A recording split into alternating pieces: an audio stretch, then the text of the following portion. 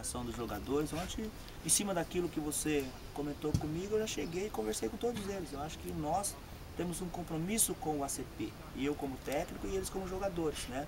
Não pode registrar mais ninguém, né? estão todos com o pagamento em dia, né? Então falta só é, praticamente 15 dias para terminar o campeonato, então não tem que ficar preocupado com proposta, com nada.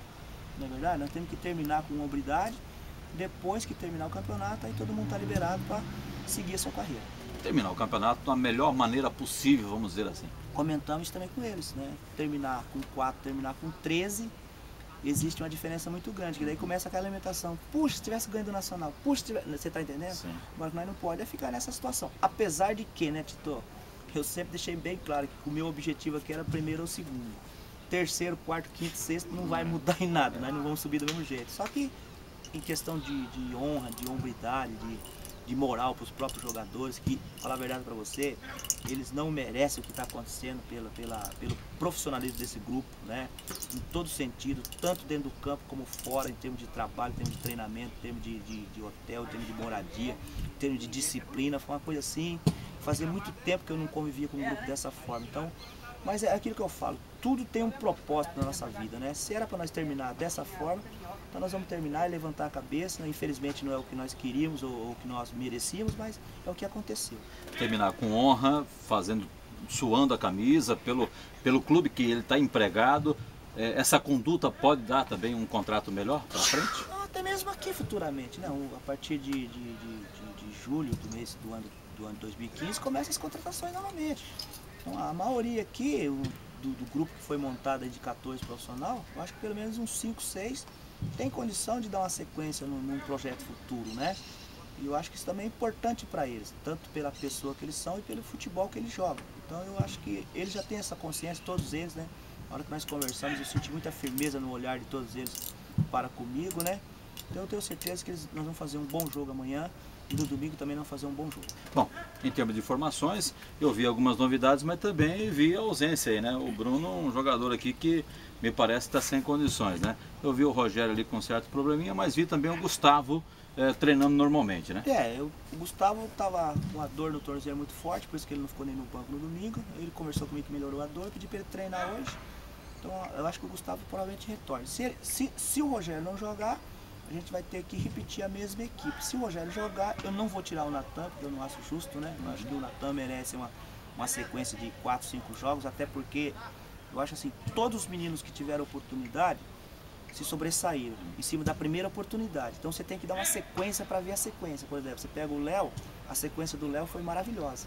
né? Ele manteve uma regularidade assim, de um jogador que já está pronto para para nós não contratarmos um novo no futuro. Né? Ele já está pronto para vestir uma camisa titular do, do, do ACP, ou seja, na primeira, ou seja, na segunda. O Evandro oscilou. né? O Evandro teve quatro jogos muito bons, depois ele deu uma oscilada, né? Apesar que domingo também ele não estava bem de saúde, não, não comentou, ele estava com com uma dor muito forte na cabeça. Deveria ter falado também, não, não de ter jogado. Mas ele deu um- uma oscilada em termos de titularidade, né? O Gustavo manteve uma média boa, né? O David também nós vamos dar uma oportunidade para ele, para a gente ter uma análise de perspectiva de futuro. E o Natan nós vamos dar uma sequência com ele, porque a gente viu um, um zagueiro bastante promissor, né? Mas a gente tem que dar uma sequência para a gente ter uma certeza. Tá pensando já em 2015 já, Lio?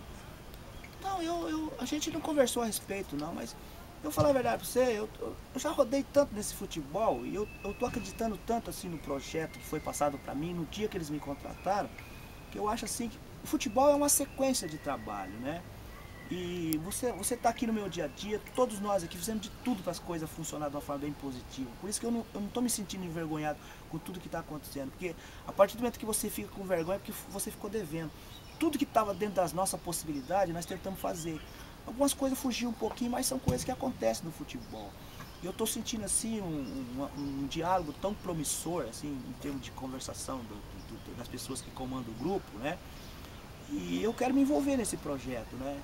E foi conversado bem antes de eu, de eu- vir para cá que nós ia ter uma sequência. Então, eu estou disposto a ter essa conversa e continuar com essa sequência, porque eu acho que é com sequência, com, com um trabalho bem organizado, é que o Paraná vai, o Paranavaí vai sair dessa situação. Não é, nós não podemos só pensar em que subiu ou não subiu. Subiu, parou o time, ficou na estaca zero. Não subiu, parou o time, aí a torcida desanima de vez. A primeira coisa que nós temos que fazer é que o futebol do Paraná vai ser mais profissional para o torcedor começar a acreditar. Porque o, o torcedor também se desmotivou, não é com o trabalho que foi feito agora, com o Paranavaí sim, porque começa o trabalho, para o ano, termina, aí sai todo mundo reclamando que não recebeu, sabe, umas conversas ruins. E, e eu posso falar porque eu, eu tive a, essa prova, quando eu estava conversando com os jogadores, a maioria não queria vir por causa de pagamento. Então, esse grupo já vai levar uma coisa bacana dessa nova direção. Né? E, e, eu acho que isso aí foi um ganho que nós tivemos. Né? Por exemplo, os caras perguntam, o que está acontecendo? Por que, que, o time não está ganhando? Entre os jogadores, os jogadores me comentam, acham que o nosso pagamento está atrasado. Quando nós falamos que o nosso pagamento está certo, está em dia, os, os, os, próprios jogadores adversários ficam surpresos, porque era, era uma marca que ficou negativa na vida do Paranavaí. Então, isso aí eu acho que foi um ganho bacana. É, é, é, não é mérito de ninguém, eu acho que é, é obrigação fazer pagamento, né? Então eu acho que as coisas estão sendo organizadas de uma forma bem profissional. E se a gente puder ajudar, Tito, eu gostaria muito de ajudar.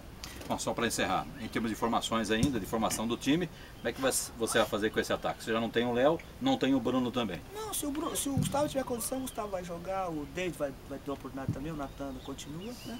Agora, se, se nenhum deles tiver condição, o Rogério excelente, aí a gente vai repetir a mesma equipe. Pela primeira vez, acho que desde o campeonato, vai repetir a mesma equipe. Então, é basicamente a mesma. Se, se todo mundo tiver em condição, aí vai jogar o, o